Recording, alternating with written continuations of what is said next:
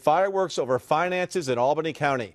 The county executive wants to privatize the county nursing home to help balance the county budget. He says it's either that or make major cuts to senior services. Tonight, a public hearing. The public got a chance to weigh in, and as Brandon Lewis reports, a lot of people are not happy.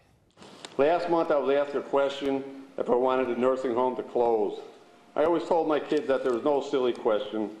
There, this is close to the most silliest one I've heard. With Albany County considering a nearly 9% tax hike, County Executive Dan McCoy announced plans to privatize the county's nursing home. The plan didn't go over well with caregivers like Renee Barchitta.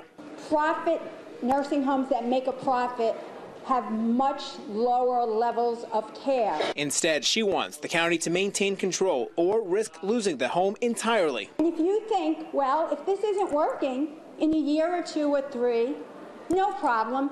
We can take it over again. There will be nothing to take over in a year or two or three. Because once you lose our great staff, that's what it's about. If the legislature doesn't approve the privatization and override the tax cap, McCoy says they'll have to cut all non-mandated programs, including completely eliminating the Department of Aging, something commentators said tonight they don't want to see happen. Never would I have believed that I would be up here saying or pleading for the seniors. But people, we do need your help. But in order to maintain the programs so many are fighting for, taxes may have to rise some $30 a year. It's a matter of everybody making choices. And we all want the choice that we're, is close to our heart. And many reminded the legislature of a common theme.